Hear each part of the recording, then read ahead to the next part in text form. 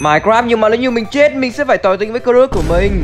Ui khoan đã. Oh my god Đây là một chú spawn quái đảng gì đây? Nó cao ơi là cao luôn. Thôi được rồi mình bắt đầu thử thách là chỉ với 0,1 máu. Và bây giờ mình sẽ phải đi xuống kia vậy. Chế ra một chiếc thuyền. Và giờ mình chỉ còn đi thuyền đi xuống cái này thôi. Ok bây giờ bắt đầu đi tìm một ngôi làng nào. Mình nghĩ rằng là mình không được để dính đắt thương bởi mình mình chỉ có 0,1 máu thôi. Nếu không thì mình sẽ phải tỏ tình với crush của mình. Oh là một ngôi làng. Mình nghĩ thử thách của mình ngày hôm nay là sẽ phải cố gắng lấy được kim cương. Mà nếu như mình lấy được kim cương các bạn phải đăng ký đó nha. Ờ nhưng mà trong đây chả có cái gì cả. Ok để mình đi ra ngoài vậy? What the fuck? Tại sao trời tối lại nhanh nước như vậy chứ? Ui ui ui có con nhìn con nhìn. Không Đừng đánh tao. Trời ơi có hai con nhìn rượt tôi kìa. À Oh my god trời đã sáng rồi may quá. Yo thật may mắn là mình không bị làm sao cả. Ua Trời ơi ở dưới này có nước thật là may mắn. Ui đâu ra con skeleton vậy? No.